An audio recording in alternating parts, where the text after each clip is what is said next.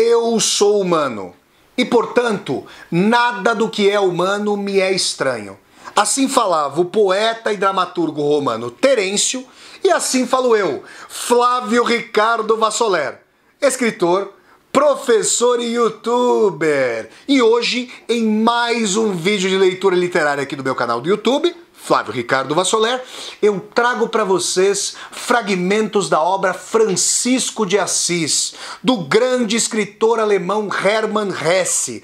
Essa obra, publicada em 1904, dialoga com a vida, a obra e a caridade de Giovanni Bernardone, esse homem sumamente bom que viria a ser canonizado pela Igreja Católica e que viveu ali entre os séculos 12 e 13. Giovanni Bernardoni entraria para a história da bondade como Francisco de Assis, ou como os católicos e católicas dizem, São Francisco de Assis. Sem mais então, passemos a palavra ao formidável escritor alemão Hermann Hesse para sua introdução de Francisco de Assis, obra de 1904. Desde tempos imemoriais, Viveram na terra pessoas grandiosas e magníficas que não almejavam adquirir fama por meio de feitos inauditos ou de obras poéticas e livros. Mesmo assim, tais espíritos exerceram influência tão poderosa sobre povos e épocas inteiras que todos os conheciam e falavam deles com entusiasmo. Assim, seu nome e a notícia de sua existência correram de boca em boca e não se perderam no fluxo e nas reviravoltas dos tempos pois tais pessoas não exerciam influência por obras, discursos ou artes dispersas, mas, acima de tudo, porque sua vida inteira parecia originada de um grande e único espírito e mostrava-se aos olhos de todos como uma imagem, um exemplo claro e divino. Ainda que não tenham concluído nenhuma grande obra visível, essas figuras exemplares tornaram-se inesquecíveis mestres e senhores de corações, graças apenas à vida que levaram, por orientarem toda a sua, a, a sua ação e a sua existência de acordo com um único espírito superior, tal como um arquiteto ou artista erige uma catedral ou um palácio não segundo seu capricho ou sua vontade vacilante, e sim de acordo com uma ideia clara e um plano vívido. Todos eram almas inflamadas e poderosas, consumidas por enorme sede de infinito e de eterno, que não se concediam descanso nem tranquilidade enquanto não reconhecessem, para além dos costumes de seu tempo e de seus contemporâneos, uma lei eterna segundo a qual, a partir de então, ajustariam seus atos e suas esperanças.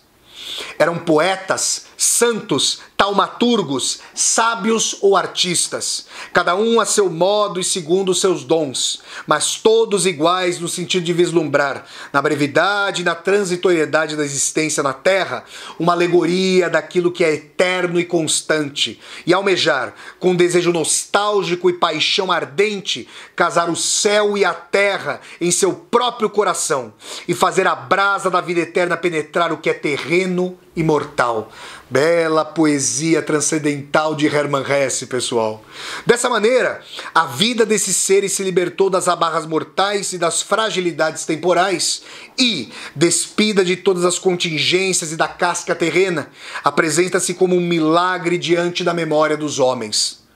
Toda e qualquer vida assim vivida por um homem grandioso nada mais é do que um regresso ao princípio da criação e uma saudosa e uma saudação fervorosa enviada do paraíso por Deus. Pois aqueles grandes sonhadores e almas heróicas recusaram-se a beber de águas turvas, nunca se satisfizeram com miragens ou com nomes em vez da essência, ou com imagens em vez da realidade.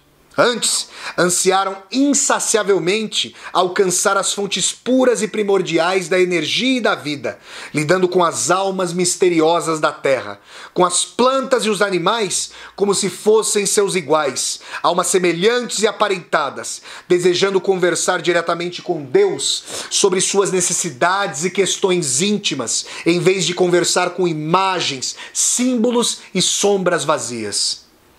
E dessa forma conseguiram aproximar todas as outras pessoas de Deus, conferindo novo valor ao mistério da criação e interpretando-o a partir de uma intuição sagrada.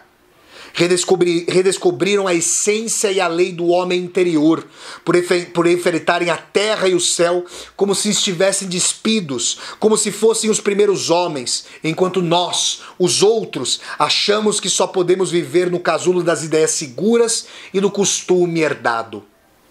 Essas pessoas verdadeiramente profundas e essenciais, não raro eram taxadas de loucas, e não falta gente a quem tais almas sempre parecerão um tanto incompreensíveis e insensatas.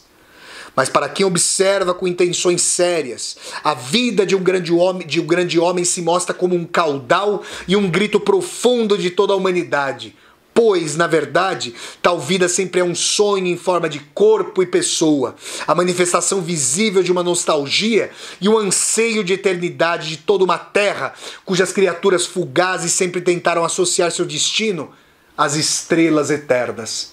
Mais uma vez eu digo, que bela prosa poética de Hermann Hesse, eivada de expectativa do absoluto e do divino. Naquela época distante, que chamamos de Medium Aveum ou Idade Média, foram se erigindo entre os espíritos e os povos poderes imensamente hostis, e todas as nações foram abaladas pela trepidação do clamor bélico e por grandes batalhas. Entre imperadores e papas ardiam conflitos sangrentos. As cidades combatiam seus governantes. A nobreza e a plebe, e a plebe aqui e acolá, travavam acerba luta. E a Igreja Romana, senhora do mundo, cuidava mais ciosamente de armamentos, alianças e legações, exílios e punições, do que da paz das almas. É, gente. Entre os povos amedrontados surgiu profunda miséria. Em vários lugares apareceram novos mestres e comunidades que resistiam, desprezando a própria vida, apesar das pesadas perseguições por parte da igreja. Outros seguiam em bandos as imensas peregrinações rumo à terra prometida. Não havia guias nem segurança, e o Ocidente, coração da terra, apesar de todo o seu brilho exterior, parecia estar sangrando. Foi quando, na Úmbria, um jovem desconhecido, Úmbria na Itália, né, gente? Um jovem desconhecido, em conflito de consciência e com profunda humildade, decidiu, com singeleza e desinteresse, ser um seguidor modesto e fiel do Salvador, Jesus Cristo, Jesus de Nazaré. E outros o seguiram. Inicialmente dois, depois três, logo centenas, muitos milhares. E desse homem humilde da Úmbria irradiou-se sobre a terra uma luz de vida e uma fonte de renovação e amor, cujos raios fulguram até os nossos dias. Era Giovanni Bernardone, chamado Francisco de Assis, sonhador, herói e poeta.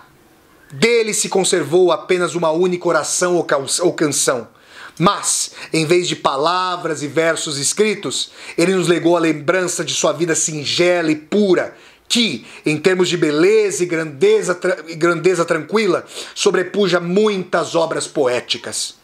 Quem narrar sua vida não precisará de outras palavras e observações, das quais eu, Hermann Hesse, me abstenho com alegria.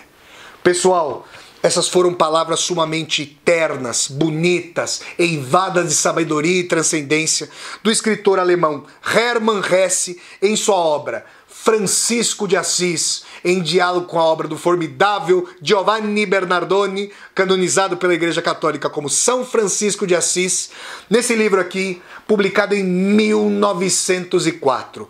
Se vocês gostaram de mais esse vídeo de leitura literária aqui do meu canal do YouTube, eu peço que vocês deem um like no vídeo, curtam o vídeo, disseminem o vídeo pelas redes sociais para que nós possamos chegar cada vez mais e mais pessoas. Se você está chegando ao, ao canal pela primeira vez, eu peço que você se inscreva aqui no canal e toque a sinetinha para receber as notificações.